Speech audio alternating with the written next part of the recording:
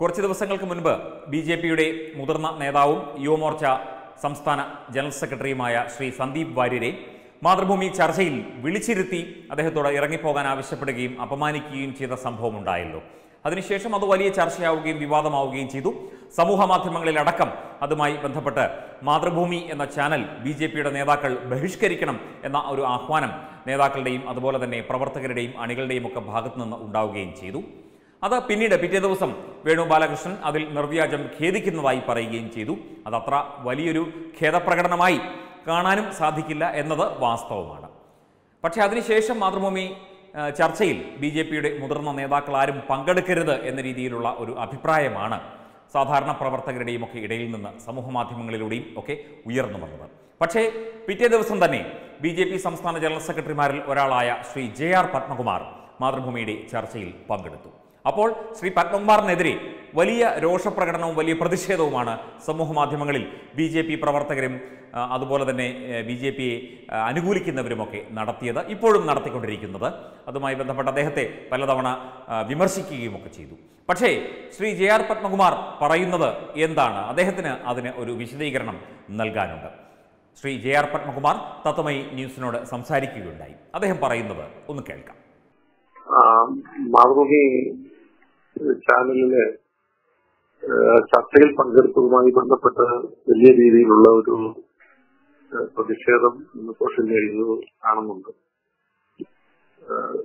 സന്ദീപ് ചർച്ചയിൽ വേണു മോശമായി പെരുമാറിയത് സംബന്ധിച്ച് പാർട്ടി തീരുമാനമെടുക്കുകയും അതിന്റെ അടിസ്ഥാനത്തിൽ ചർച്ചയിൽ നിന്ന് വിട്ടു നിൽക്കണമെന്ന് തീരുമാനിക്കുകയും ചെയ്യും അതിനുശേഷം വേണു മാതൃഭൂമി ചർച്ചയിൽ കൂടി ആ ഖേദം പ്രകടിപ്പിക്കുകയും അത് തുറന്നു പറഞ്ഞ സാഹചര്യത്തിൽ പാർട്ടിയിൽ നിന്നും വീണ്ടും തീരുമാനം എടുത്ത ഒഫീഷ്യൽ വക്താക്കൾക്കും അതുപോലെ തന്നെ പാർട്ടി ഓഫീസ് ബേറേഴ്സിനും ജാനുവരി മുപ്പതാം തീയതി ഒരു ആ നിർദ്ദേശം അറിയിക്കുകയും ചർച്ചയിൽ നിന്ന് വിട്ടുനിൽക്കാൻ തീരുമാനിച്ച കാര്യം പിൻവലിച്ചതായി അറിയിക്കുകയും ചെയ്തതിന്റെ അടിസ്ഥാനത്തിലാണ് മുപ്പത്തി ഒന്നാം തീയതി ഞാൻ ചർച്ചയ്ക്ക് പോയത് മാത്രവുമല്ല ഒന്നാം തീയതി കേന്ദ്ര ബഡ്ജറ്റ് ചർച്ചയിൽ പാർട്ടി പാനലിൽ നിന്ന് ആ പാർട്ടി എടുത്ത തീരുമാനത്തിന്റെ അടിസ്ഥാനത്തിൽ തന്നെ പാർട്ടി പാനലിൽ നിന്ന് നേതാക്കന്മാർ പങ്കെടുക്കുന്നു എന്നുള്ള കാര്യം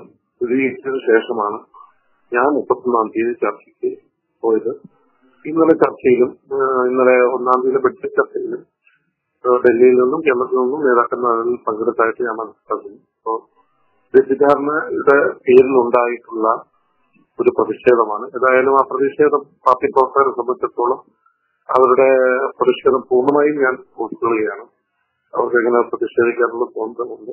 പക്ഷെ ഞാൻ പരിപാടിയിൽ പങ്കെടുത്തത് വ്യക്തിപരമായ താല്പര്യമോ പ്രശസ്തിക്കോ എന്നിട്ടല്ല അങ്ങനെയാണെങ്കിൽ ആയിരത്തി തൊള്ളായിരത്തി എഴുപത്തി അഞ്ച് മുതൽ സംഘടനാ പ്രവർത്തനത്തിലുള്ള ഞാൻ സത്യക്ക് വേണ്ടിയിട്ടാണെങ്കിൽ ഈ വഴി അല്ലെങ്കിൽ ഈ പാത തെരഞ്ഞെടുക്കേണ്ട കാര്യമൊന്നുമില്ല.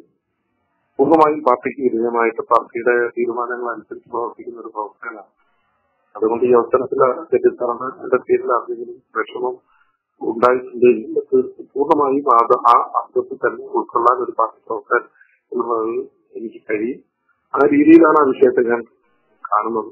അതോട് വ്യക്തിപരമായി വിരോധത്തിന്റെ നമ്മുടെ പാർട്ടി സ്നേഹിക്കുന്ന അനുഭാവികളുടെയോ പ്രവർത്തകരുടെയോ വികാരത്തെ ഓർമ്മപ്പെടുത്തുന്നതിന് വേണ്ടിയിട്ടുള്ള ഒരു ആഗ്രഹവും അതിന്റെ അടിസ്ഥാനത്തിലില്ല.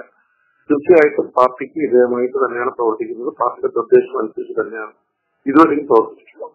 ഒരു രാഷ്ട്രീയ പാർട്ടിയുടെ ഇപ്പം ചാനൽ ചർച്ചകളെ ഒന്നും തന്നെ വലിയ പ്രോത്സാഹന വലിയ പ്രോത്സാഹനം കൊടുക്കേണ്ട കാര്യമില്ല എങ്കിൽ പോലും കാരണം ചാനൽ ചർച്ചകളിലൂടെ അല്ല പാർട്ടിയും ഒക്കെ വളർന്നു വരുന്നത്. അത് ജനങ്ങൾക്കിടയിൽ ഉള്ള സ്വാധീനത്തിലൂടെയും ജനങ്ങൾ പാർട്ടിയെ അനുകൂലിക്കുന്നതിലൂടെയുമാണ്. അതിനൊക്കെ ചാനൽ ചർച്ചകൾക്ക് ഒരു ചെറിയ സംഭാവന മാത്രമേ നൽകാനുള്ളൂ എന്നാണ് പൊതുവെ നമുക്ക് വിശ്വസിക്കാൻ സാധിക്കുന്നത്.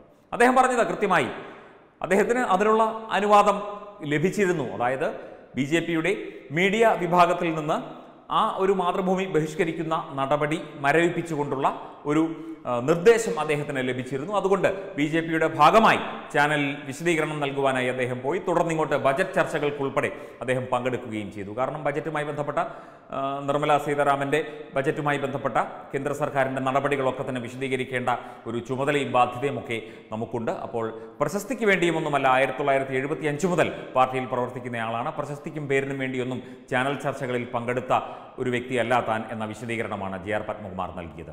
തീർച്ചയായും അത്തരത്തിൽ ഒരു വിശദീകരണമില്ലാതെ ഒരു ഇത്രയും മുതിർന്ന ഒരു പ്രവർത്തകൻ ബി ജെ പി പ്രവർത്തകൻ ചാനൽ ചർച്ചയിൽ പങ്കെടുക്കും എന്ന് നമുക്ക് വിശ്വസിക്കാൻ പ്രയാസമാണ്. അതുകൊണ്ട് പ്രിയപ്പെട്ട പ്രവർത്തകരും ബി ജെ പി പ്രവർത്തകരും അനുഭാവികളും സംഘബന്ധുക്കളും ഒക്കെ തന്നെ അദ്ദേഹത്തിന്റെ വിശദീകരണം കേൾക്കണം.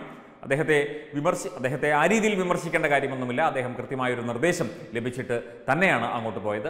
മാത്രമല്ല ബി ജെ പിയുടെ നിലപാട് വിശദീകരിക്കേണ്ടത് അദ്ദേഹത്തിന്റെ കൂടി ഒരു ബാധ്യതയാണ്. അദ്ദേഹത്തിന്റെ കൂടി ഒരു ഉത്തരവാദിത്വമാണ് എന്ന ഒരു കാര്യം കൂടി നമുക്ക് ഈ ഒരു അവസരത്തിൽ ഓർമ്മിക്കേണ്ടി വരുന്നു.